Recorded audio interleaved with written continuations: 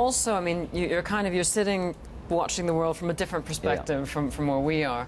What do you think that, that Europe should be doing now in order to continue the healing process, in order not to, to get you know spun into a deflationary spiral, in order to, to stop it before it, it's too late? I mean, should the ECB be doing you know full-blown QE? Should the ECB be doing you know Yeah. some type of uh, unlimited bond buying program, but only in a particular area? Should the countries be buying their own sovereign debt? I mean, again, from an outsider's perspective, what, what looks like a good idea? Um, look, I think if you'd asked me that question about whether they should undertake um, quantitative easing three or four years ago, I would have been pretty sceptical.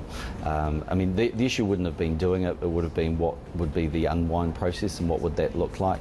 I think given the success in the US, notwithstanding, you know, the Treasury, um, the Fed's got still a very large balance sheet, probably they've got no option but to do that.